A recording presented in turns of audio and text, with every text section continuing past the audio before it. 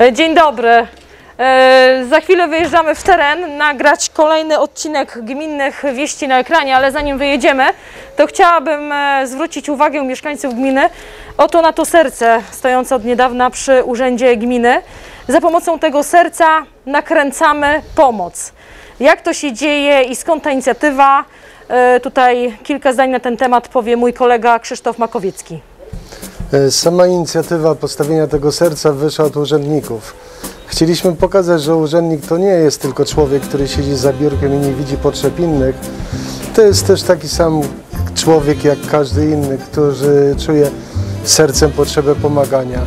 My wiemy, że być może to jest kropla w morzu tego, co ktoś potrzebuje, ale to jest być może ważna kropla, która pomoże chorym dzieciom w osiągnięciu ich celu.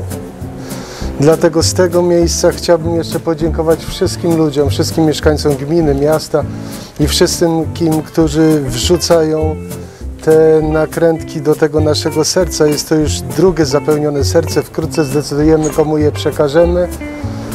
A na razie cieszymy oczy widokiem tej społecznej, naszej po części inicjatywy. I co można powiedzieć? Warto pomagać. Gminne wieści na ekranie nadajemy z Głuchowa. E, Za mną, tutaj za moimi plecami e, trwa inwestycja. E, Jest to dwuletnia inwestycja, która obejmuje główny budynek szkoły podstawowej w Kończewicach, po byłym gimnazjum.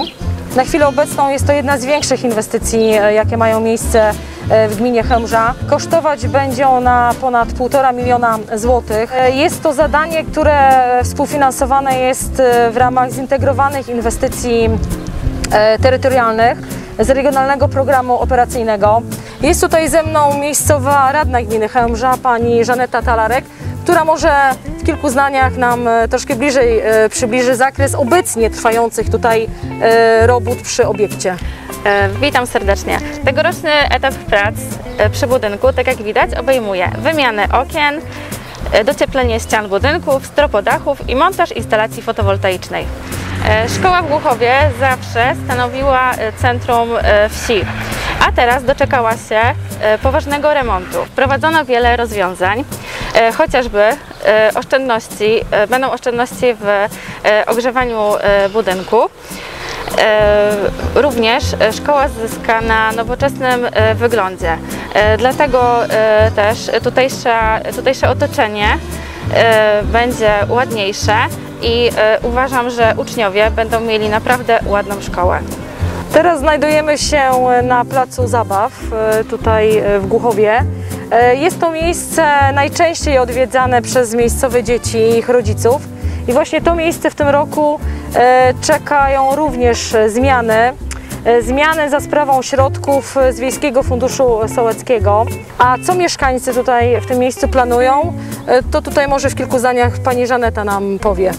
W tym roku z pieniążków sołeckich planujemy przeznaczyć 20 tysięcy złotych na modernizację placu zabaw.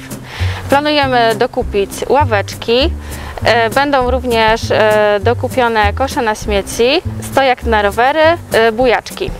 W drugiej części placu, tutaj, który jest przed nami, będzie utworzona strefa fitness.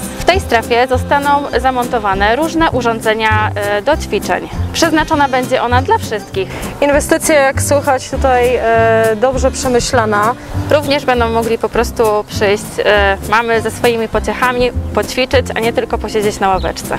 Miejscowe dzieci tutaj w Głuchowie mają okazję korzystania nie tylko z placu zabaw, który przed chwilą prezentowaliśmy. Często spędzają tutaj swój wolny czas. E, Z miasteczka rowerowego e, mogą korzystać również dzieci z okolicznych e, miejscowości. Tuż za miasteczkiem znajduje się strefa dla seniora, gdzie można przyjść, posiedzieć sobie na ławeczce, jak również pograć w szachy albo w warcaby.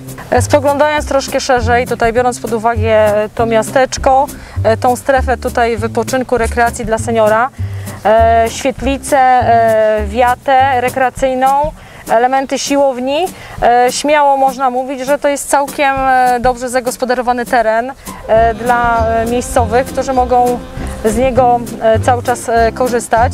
I myślę, że on jest na bieżąco wykorzystywany.